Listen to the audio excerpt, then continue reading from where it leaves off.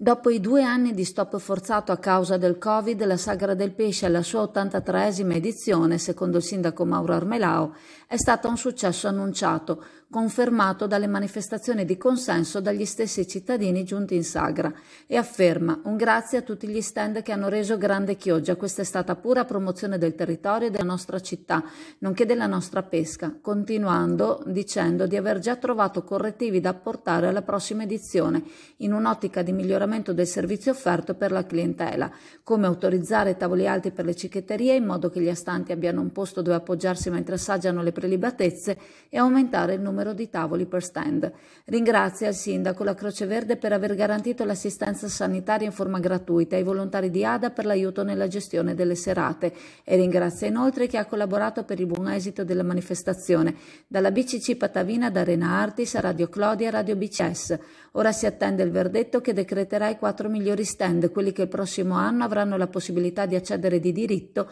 e di poter scegliere la location. Un unico rammarico, quello che molti negozi del centro storico non abbiano approfittato delle serate lunghe per tenere aperto fino a tardi. Sarebbe stato un bel vedere.